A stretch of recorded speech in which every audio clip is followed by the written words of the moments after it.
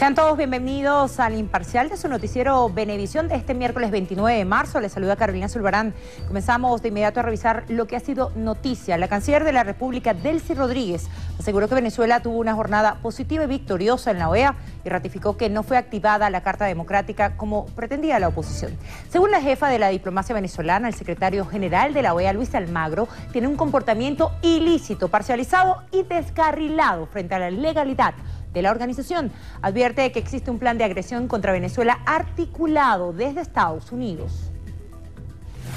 El presidente de la Asamblea Nacional, Julio Borges, aseguró que el bloque de la unidad no teme ser encarcelado tras la decisión del Tribunal Supremo de Justicia de limitar la inmunidad parlamentaria.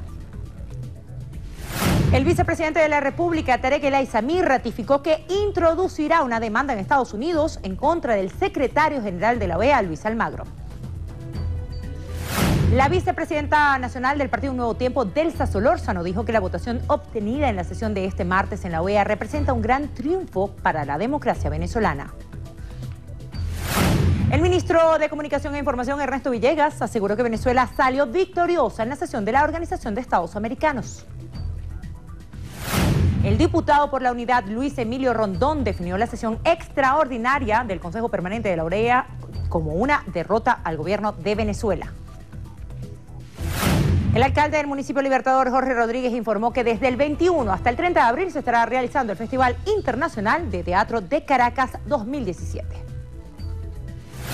El gobernador de Miranda, Enrique Capriles Radonsky, calificó como positivo que 20 países miembros de la OEA hayan aprobado debatir sobre la situación política, económica y social por la que atraviesa Venezuela. La vicepresidenta del Consejo Nacional Electoral, Sandra Oblitas, afirmó que ningún organismo internacional podrá imponerle al Poder Electoral un ordenamiento jurídico distinto al existente en Venezuela. La canciller de Colombia, María Ángela Holguín, instó al gobierno y a la oposición venezolana a establecer un diálogo. Aseguró que Luis Almagro se excedió con la propuesta de la activación de la Carta Democrática.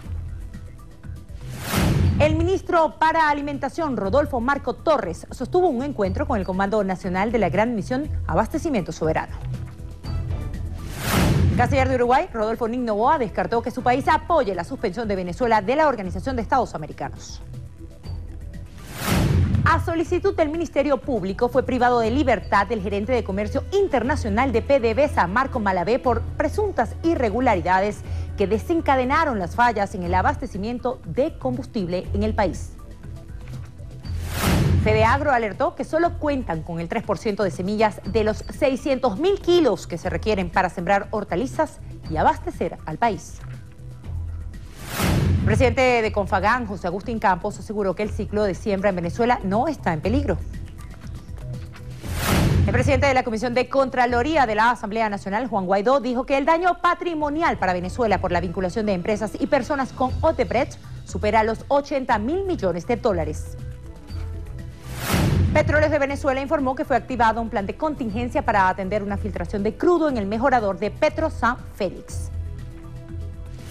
Madres de pacientes del Hospital JM de los Ríos protestaron a las afueras de este centro exigiendo que se les garantice el derecho a la salud de sus hijos. El defensor del pueblo, Tarek William Saab, considera que las acciones que se han venido generando desde la OEA es un ataque a la soberanía del país.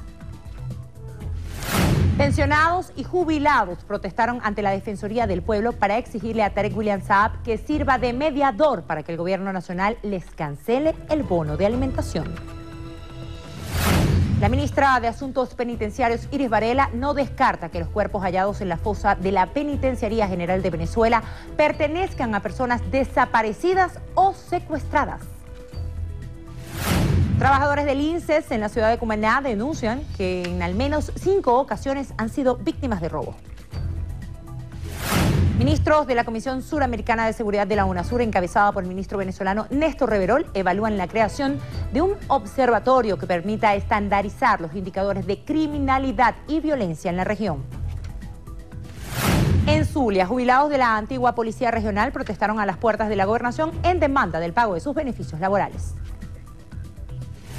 En Anzuategui, Carlos Ocanto, director de la Clínica de Salud Pública FANSGANS, informó que más de mil intervenciones quirúrgicas se han realizado en la institución médica. Más de 20 familias fueron afectadas tras las fuertes precipitaciones registradas durante las últimas 72 horas en el estado Lara. En Táchira, el alcalde del municipio Andrés Bello, Humberto Contreras, indicó que el ayuntamiento no cuenta con recursos para atender la emergencia por las lluvias. Cuerpos de seguridad de Táchira no descartan que grupos guerrilleros hayan asesinado a un hombre de 36 años de edad, cuyo cadáver fue hallado en la población del Piñal con un cartel que lo responsabilizaba del abuso sexual de su propia hija. La primera ministra británica, Theresa May, confirmó la activación del Brexit, la salida del Reino Unido de la Unión Europea. Amigos, hoy en las noticias del entretenimiento les tenemos detalles del nuevo video de San Luis.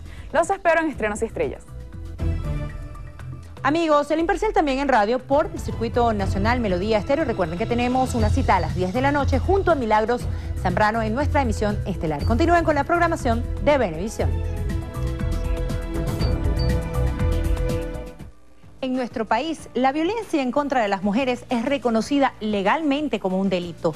Por eso actuar a tiempo y denunciar puede salvar sus vidas. Noticiero Benevisión te recuerda, con violencia no hay paraíso. Rompe el silencio ya.